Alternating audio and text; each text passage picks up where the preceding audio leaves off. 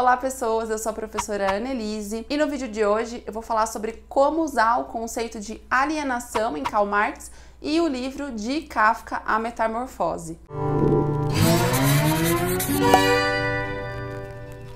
Antes de começar o vídeo, seja bem-vindo, seja bem-vinda no canal. Se você ainda não se inscreveu, corre aqui, clica, se inscreve, ativa o sininho para receber todas as notificações, já curte esse vídeo, deixa o seu comentário e compartilha com aquele professor iniciante que está precisando dessa dica. Bom, nos vídeos anteriores eu dei algumas ideias de formas de abordagem de temas diferentes, como, por exemplo, o vídeo sobre o Tintim e o imperialismo, sobre o mito dos bandeirantes, e na aula de hoje não vai ser diferente. Eu trouxe para vocês aqui uma ideia né, de como eu trabalho com o conceito de alienação em Marx e faço uma relação desse conceito com o livro do Kafka, A Metamorfose. Se você não dá aula de sociologia, mas dá aula de história e também fala sobre a Revolução Industrial, você pode também utilizar essa aula aqui, essa abordagem, tá? Não precisa ser só exatamente pensando no conceito de ideologia. Então, essa dica vale tanto para professores de história quanto para professores de sociologia até filosofia também. Então, vou dar dois exemplos, né? Se na aula de história você está falando sobre revolução industrial e sobre os desdobramentos, sobre as consequências da revolução industrial na vida das pessoas, falando sobre burguesia e proletariado, sobre o dia a dia das pessoas nas cidades, morando em cortiços, trabalhando 18 horas por dia, enfim, todas aquelas questões que a gente já comenta principalmente quando a gente está falando de revolução industrial, no oitavo ano ou lá no segundo, terceiro ano do ensino médio, dependendo da escola onde você dá aula, né? Você pode utilizar essa aula também, tá? E se você está falando sobre o conceito de alienação em Marx, também pode ser utilizado. E aí eu vou trazer o exemplo de como eu fiz isso em aula, tá? Em um ano, quando eu trabalhei isso com o oitavo, eu pedi para que eles fizessem a leitura mesmo do livro, tá? Da Metamorfose. Estão vendo que é um livro bem curtinho para quem ainda não conhece, muito tranquilo de ler, de fazer a leitura, tá? Eu usei com o oitavo para falar dessas questões de consequências e desdobramentos da Revolução Industrial.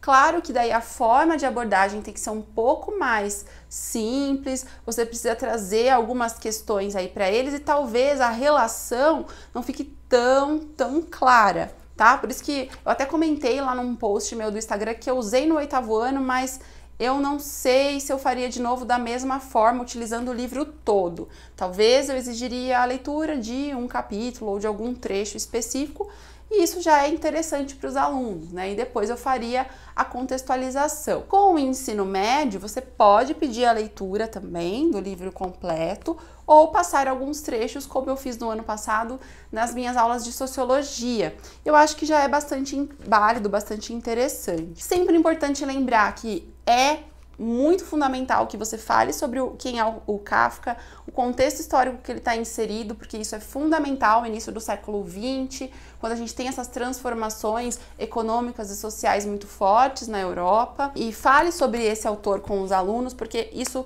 ajuda muito nessas questões de, de fazer a relação da obra com o contexto histórico. Então, para quem não conhece, na história da metamorfose, o Gregor Samsa, ele é um caixeiro viajante. Então, ele passava de porta em porta vendendo produtos é, nas casas das pessoas. E um dia ele, aliás, antes até de comentar sobre isso, né? Ele sustentava a família dele. Então ele tinha esse trabalho que ajudava a família toda. Então ele tem pai, a mãe e uma irmã mais nova. A irmã mais nova não trabalhava ainda, o pai e a mãe dependiam dele e do salário dele para sobreviver. Então um dia ele acorda e ele se encontra metamorfoseado em um inseto. Os autores dizem que é uma barata, outros não, mas enfim, é um inseto. Ele não consegue sair da cama, ele não consegue trabalhar, ele entra em desespero e logo no início do livro a gente percebe a angústia dele de não conseguir levantar para ir trabalhar, para sustentar a família e ele não sabe o que fazer porque aquilo tudo era a vida dele. A partir daí, vocês podem começar a problematização com os seus alunos, inclusive passando esse trecho do início, mostrando o quanto ele era importante no sentido econômico para a família dele e conforme o livro vai se desenvolvendo, ele, como não consegue mais trabalhar, como ele não consegue mais ser útil para a família, ele vai perdendo a sua importância, inclusive dentro da, do núcleo familiar. Então, quando a gente pega o conceito de alienação em Marx, a gente pode dizer que o, o Gregor Samsa ele nota muito essa questão, né? O Marx vai dizer que o trabalho, né, nessa mudança com a revolução industrial, ele não é algo que pertence mais ao trabalhador, né? Porque ele está vendendo a sua força de trabalho em troca de um salário. Então, o resultado do que ele produz não pertence mais a ele. Aquele trabalho passa a ser um fardo.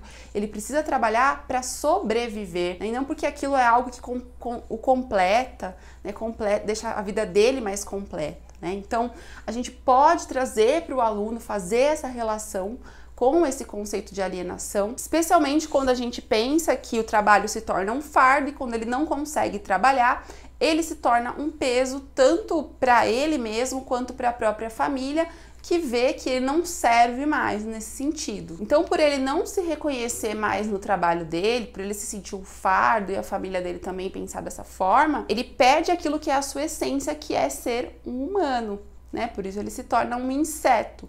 E aí a gente pode problematizar e fazer as relações com os nossos alunos a partir dessa ideia. Se você não fala sobre a, o conceito de alienação, você pode mostrar o quanto o trabalho se torna central naquele contexto do capitalismo industrial do início do século XX, quanto a gente tinha essa tensão forte na vida das pessoas. Então, o quanto, por exemplo, uma pessoa que não consegue trabalhar ela se torna um fardo para a sociedade, ela se torna inútil. Então a gente pode pensar na questão da aposentadoria ou nas pessoas desempregadas. Pode trazer essa discussão para os alunos também. Então é isso, gente. Aqui é só uma sugestão, né? Então, por exemplo, aí você pode finalizar essa problematização, essa contextualização com os alunos pedindo para que eles relacionem o conceito de alienação com a situação vivida por Gregor Samsa.